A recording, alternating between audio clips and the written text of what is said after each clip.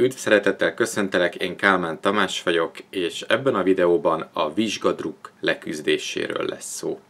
Nos, ha érdekel téged az önálló angol tanulás, akkor iratkozz fel erre a csatornára, és hogyha szeretnéd egyszer és mindenkorra megérteni az angol nyelvtant és letenni a középfokú angol nyelvvizsgát, akkor lent a leírásban nézz rá a tréningjeimre. És akkor vágjunk is bele a mai témánkba, vagyis a vizsgadruk legyőzésébe. Én nagyon kevés olyan embert ismerek, akik élvezik a vizsgahelyzeteket.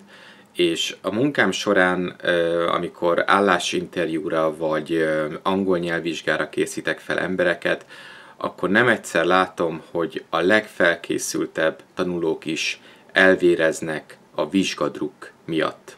Úgyhogy nézzük meg, hogy te hogyan tudod jobban kezelni ezt a helyzetet.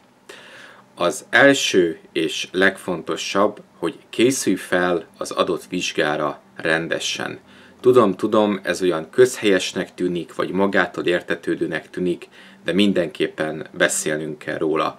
Ha rendesen felkészültél egy adott vizsgára, legyen az a nyelvvizsga vagy bármilyen más ö, vizsga, ha ismered a típus feladatokat és az időkereteket, akkor lényegében nagyon-nagyon kevés meglepetés érhet téged azon az adott vizsgán, és emiatt te is sokkal magabiztos leszel, és sokkal magabiztosabban ö, mész neki az adott vizsgafeladatoknak. A kettes számú tip, aludt ki magad rendesen a vizsga előtt. Én azt javaslom neked, hogy a vizsga előtti napon mindenképpen aludj legalább 8 órát semmiképpen ne éjszakáz, ne akarj még vizsgafeladatokat megoldani, vagy eszéket írni éjjel kettőig, mert ennek semmi értelme nem lesz, ezzel egyáltalán nem fogsz magadnak segíteni, és hogyha rendesen felkészültél és befektetted a munk, betett, beletetted a munkát a felkészülésbe, akkor erre tulajdonképpen nincs is szükség. Tehát feküdj le időben, és aludj mindenképpen 8 órát hármas számú javaslat, tankolj fel reggel. Semmiképpen ne menj az adott vizsgára éjgyomorra. Lehet, hogy az adott vizsga reggelen te nagyon ideges leszel, és nem lesz étvágyad, de semmiképpen ne menj éjgyomorra, tehát mindenképpen egyél egy tápláló reggelit aznap reggel, mert a szervezetednek igenis nagyon sok energiára lesz szüksége az adott napon négyes számú javaslat, indulj el otthonról korán. Ha azt érzed a vizsga felé menet, hogy el fogsz késni, hogy nem fogsz időben odaérni, ez csak arra lesz jó, hogy növelni fogja a stresszt benned a vizsga előtt.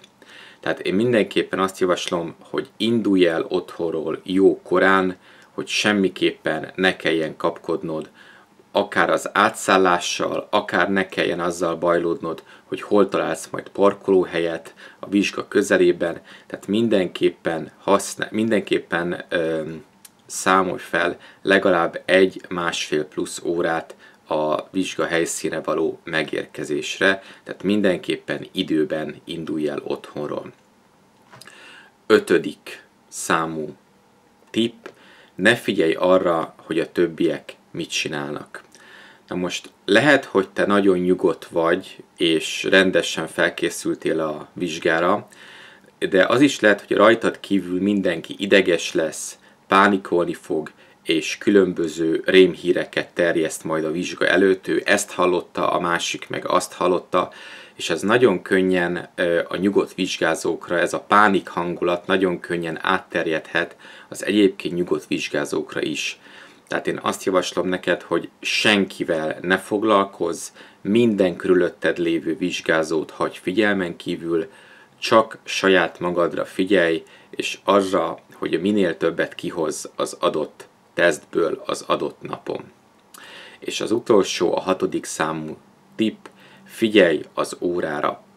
Nagyon sok diák hajlamos elúszni a vizsgán, tehát hogy egy-egy feladatra túlságosan sok időt szán, és aztán egyszerűen kifut az időből, és elkezd kapkodni, elkezd pánikolni.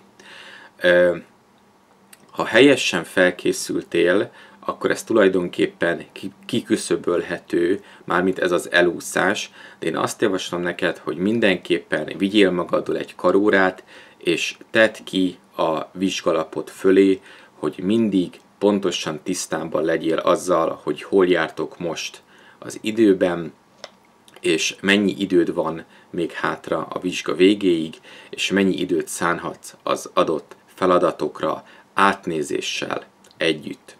Nos, ha betartod ezt a hat szabályt, akkor tulajdonképpen bármilyen vizsgára relatíve nyugodtan felkészülhetsz, és minimalizálni tudod a vizsga előtti vizsgadrukkot.